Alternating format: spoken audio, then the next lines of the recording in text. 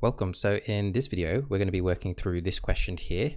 Uh, it's question 13 of the 1989 maths competition, and it appeared in both the junior and intermediate level. level. So remember, junior is year 7 and 8. And as you can see, in 1989, 7% of uh, students got it right in the junior level and 7% got it right in the intermediate level. So a very tricky question. Uh, I really encourage you to pause the video, give it a go before you watch this, because otherwise it's going to ruin it for you. You want to give it a good go before you look at the solutions. All right, it says there are 300 girls who represent a certain school in both summer and winter sports. In summer, 60% of these girls play cricket, and the other 40% play squash. Let's just stop there for a moment and just do what we can here. So we have summer sports. And one of our summer sports is cricket. And we know that 60% of 300 students uh, play cricket. Now, hopefully you can do this very quickly in your head, 60% of 300. Uh, the best way to think about it is what's 10% of 300? It's going to be 30. So therefore, if you want 60%, of 300, all you're going to do is multiply this by 6 to get 180. And just like that, you can get 180 uh, very quickly. Then we do the same thing uh, for squash, 40%. So we've got squash, which is 40% of 300. So just the remaining students.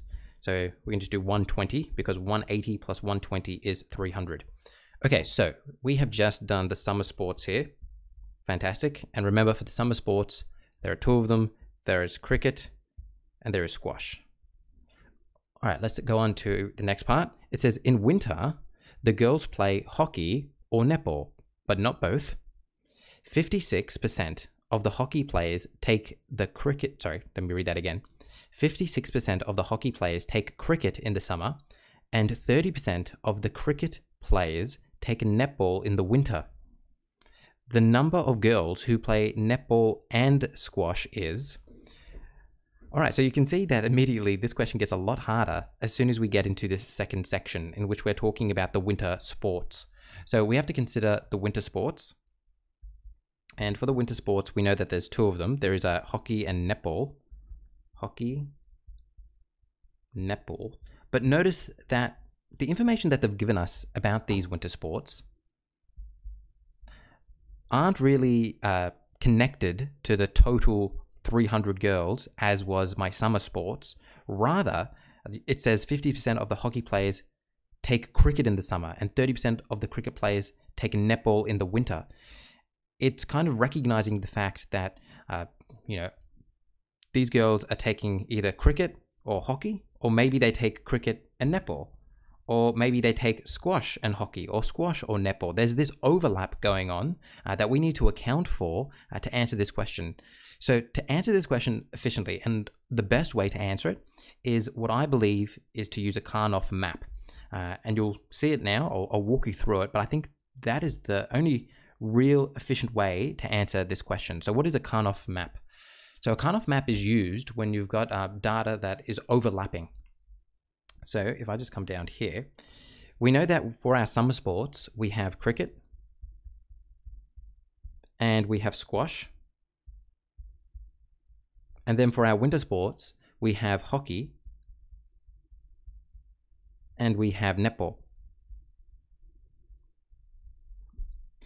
Now, let's rule up a graph and you'll see what this Karnaugh map is going to look like. So I'm ruling this up like that and like that. Perfect. Now this is going to represent, and I'll even do this in red, this is going to represent our totals. So the total amount of students that do cricket is 180. So I put a 180 here. And the total amount of students that do squash is 120. So I put 120 here. And this too is going to be a total column. And you can obviously see this is going to be 300 there because 180 plus 120 is 300. But the really important thing that we have to recognize here is that if I look at this cricket row here, the total is 180, but you see how it's made up of students that do cricket and hockey and students that do cricket and netball? So this represents my summer sports this represents my winter sports. And you can clearly see that there is an overlap of them. So you might have a, a girl that does cricket and hockey, and then a girl that does cricket and netball. And if you add those together, you get the total amount of students that are doing cricket. So that's how this Karnaugh map works. All right, let's uh, go up and see the information that they've given us here and see what we can do with it. Let's just rub some stuff out here. So one piece of information that they've given us, I'm going to ignore this thing where it says 50% of the hockey players take cricket in the summer.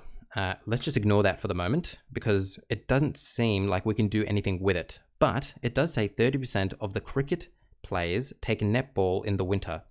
30% of the cricket players take netball in the winter. So that's the overlap of the cricket players and the netball players. So if I come over here, uh, cricket and netball, it's referring to this column here. Let me just put a green dot here. So it's saying, let me read it again, 30% of the cricket players take netball in the winter. So that means, I'm going to come over here, 30% of the cricket players, there's 180 cricket players, take netball in the winter. So this isn't the total amount of students that are doing netball, but it's the netball students that do cricket. 30% of the cricket players do netball. It's referring to this column here. So I need to figure out what 30% of 180 is. Again, we can use the same technique. We can go 30, sorry, 10%. 10% of 180 is uh, 18. And therefore, if I want 30% of 180, I simply multiply this by 3, and that's going to give me 54. So it'll be 54 here. So that means this is going to be 54. Because 30% of the cricket players do netball. Now, because we have this, I can figure out this. Because remember, this and this have to add to 180, because this is the total amount of students that are doing cricket. So that means 54 plus some number will give me 180. So 180 minus 54 will be 126. This will be 126. Perfect. We've filled out this column now. Amazing. Um, but we're not done yet. All right, let's come back here again. So come back to the question. The next part of the question that we're really going to analyze is this part where it says 50% of the hockey players take cricket in the summer.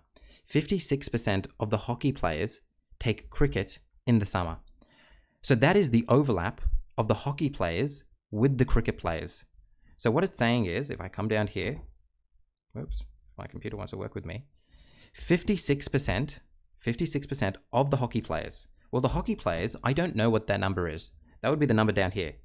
56% of this number here, let's call it H, because I don't know, it's the total amount of hockey players. 56% of these players play cricket in the summer.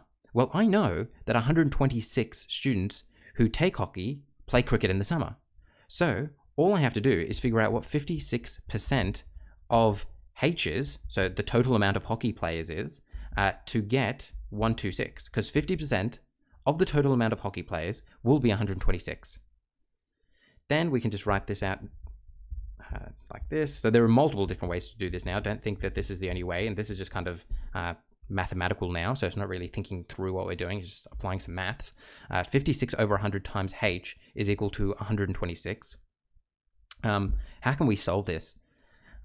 I'll give you a, a simpler example to help you solve it. If I, if I said uh, if I said a half of some number x is equal to 5, and you wanted to solve for what x is, well, 1 half times x is equal to 5. What you would end up doing is you could keep x here and then just go 5 times and then flip this fraction 2 over 1. x is going to be equal 5 times 2 over 1 is 10 over 1, which is just 10. So half of 10 is 5. So do you see how by flipping the fraction and multiplying it to the other side, uh, we can get what we're after. So that's simply what we're going to do here. Uh, and again, there's different ways to do this. The h is going to be equal to 126. I'm going to flip this fraction around. Uh, times 100 over 56. Now it's just a matter of simplifying this thing. Um, 126 and 56 are both divisible by 7. 56 divided by 7 is 8. 126 divided by 7 is 7 goes into 12 once. With 5 left over, it'll be 18. I can simplify that again. I can divide them both by 2. This will be 4. This will be 9. Uh, 104 are both divisible by 4. That will be 1, that will be 25. So at the end of the day, what I'm going to be left with here is h is equal to 9 times 25, and 9 times 25 is 225.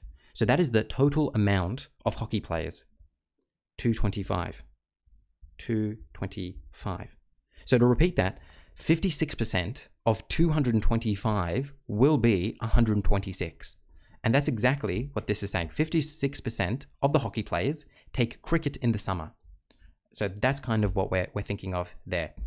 Now, remember that this has to add up. So 126 plus whatever this is has to be equal to 225 because hockey is made up of students that do uh, cricket and hockey and squash and hockey. So therefore, to figure out what this number is here, what I'm going to do, this is getting a little bit messy, 225 minus 126, that's going to be 99. So I put a 99 there.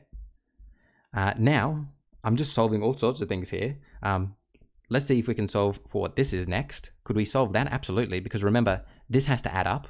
So remember that the total amount of squash has to be uh, squash and hockey, and those who take squash and netball. Well, to figure out this, 99 plus what is going to be 120 is going to be 21. And then we could also figure out what this is. 54 plus 21 is 75. Uh, and now we've totally filled up our Karnaugh map. So let's now go back to the question and see what it actually wanted from us. Uh, the last part of the question, the most important part, says the number of girls who play netball and squash. Netball and squash. So we come to our Karnaugh map.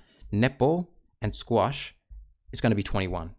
The, the total amount of students that do netball and squash is 21, which means our answer is E. That's what's going to be our answer. This question really highlights the importance of doing good quality working. And I really think without a Karnaugh map, this question would have been out of reach uh, for many students.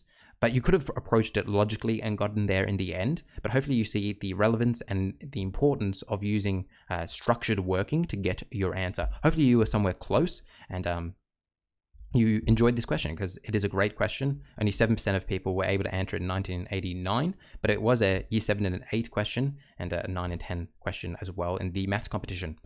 Hopefully you enjoyed this and I'll talk to you soon. Bye bye.